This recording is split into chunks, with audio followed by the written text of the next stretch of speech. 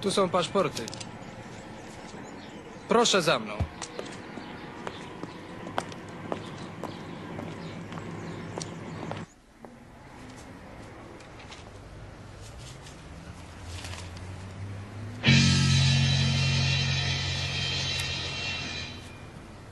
Co to... Kto to zrobił? Ja. Pan? To ja się pytam, kto. Pytam się, Przecież ja... co to jest? Paszport. Paszport?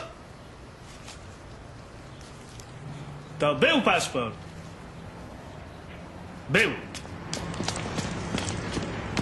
Przynieś moją walizkę. Słuchajcie, jedziecie sami. Trenerze, jest pan odpowiedzialny za mecz, za wyjazd, za wszystko. Tak? Ale co się stało? Nic się nie stało, wszystko jest w porządku. Dawaj go.